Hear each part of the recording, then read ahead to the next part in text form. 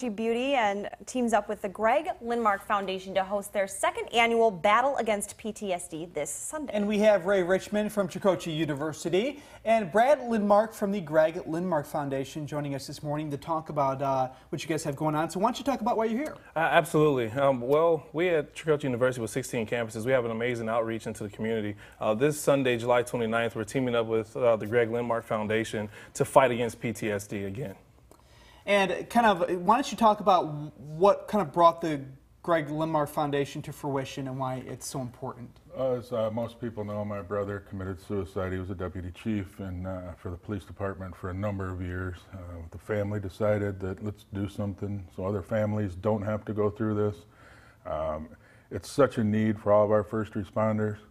In the United States alone, three re uh, first responders commit suicide each day. Um, it's, it needs to improve. We need to work on that, and uh, Foundation is trying to fix that.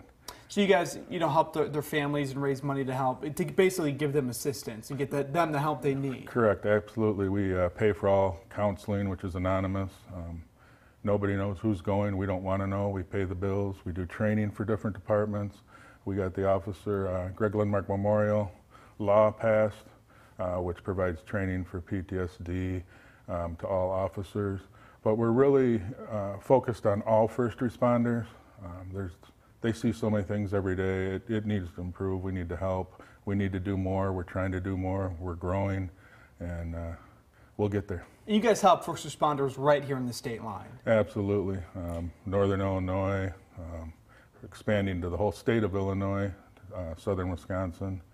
Uh, we, we want to expand further, but it, it takes time, it takes money, and we're getting there.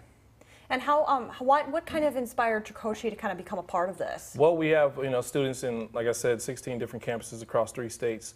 Um, but we want to uplift the community and fight against things that tears it apart. So we've decided to create a, a day in celebration of first responders, uh, a day of showing our, what our students are capable of with having um, a, a, barber beauty battle, car show, bike show, breakdancing competitions. We're trying to take a whole day of celebration to give back. So we were able to uh, team with multiple uh, Rockford Commerce, um, Cost Cutters, Color Lab Cosmetics, and Stay Ill Clothing just to kind of push this event to get it to you know a level where we can show uh, multiple or multiple states of what we're doing for the foundation. And how can people at home get involved in the event? Absolutely. Come out and support. Just come on out to uh, the Rivet Stadium this Sunday, July 29th from 12 to 6. Enjoy yourselves. It'll be a fun day. Fireworks, food vendors, cars, bikes, trucks, and again, we'll come see a competition of barbers and cosmetologists. Yeah, that's going to be a lot of fun. Really it's all for a good cause. Absolutely. you can't beat it. Absolutely. Well, thank you guys so much for joining us. We'll put more information on our website at mystateline.com